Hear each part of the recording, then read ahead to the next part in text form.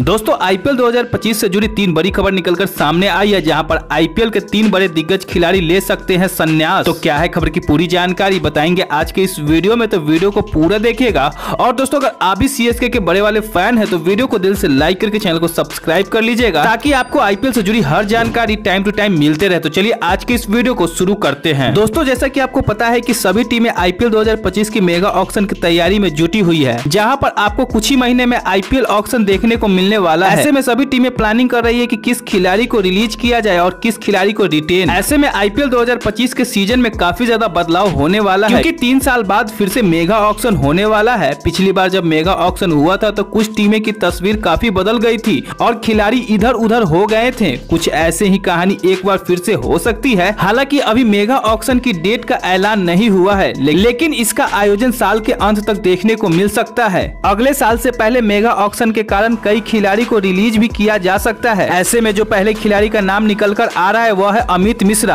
अमित मिश्रा को team India में ज़्यादा खेलने को मौका नहीं मिला, लेकिन उन्होंने आईपीएल में अपनी चमक खूब बिखेरी। और वह लीग में चौथे सबसे सफल स्पिनर है। वहीं अगर बात करें दूसरे खिलाड़ी को लेकर तो वह है प्रियांशु चावला। दोस्तों, इस लिस्ट में सबसे सफल गेंदबाज प्रियांशु चावला है। प्रियांशु चावला की उम्र 35 साल है, लेकिन मेगा ऑक्शन में शायद ही उन पर कोई दाव लगा सके। ऐसे में वह संन्यास का ऐलान कर सकते हैं। इस लिस्ट में जो तीसरा नाम है, वह है शिखर धवन का। शिखर धवन टीम इंडिया से बाहर चल रहे हैं। शिखर धवन भी आईपीएल 2025 के मेगा ऑक्शन में नज़र आ सकते हैं। शिखर धवन पंजाब किंग्स की ओर से खेलते हैं, लेकिन स्ट्राइक रेट काफ़ी ज़्यादा कम होने के कारण वह अनसोल्ड रह सकते हैं। ऐसे में देखना होगा कि शिखर धवन आईपीएल में संन्यास लेते हैं या फिर नहीं। वो तो आईपीएल में ही पता चल पाएगा। तो दोस्तों ऐसे ही आईपीएल से जुड़ी अपडेट पाने के लिए चैनल को सब्सक्राइब करें।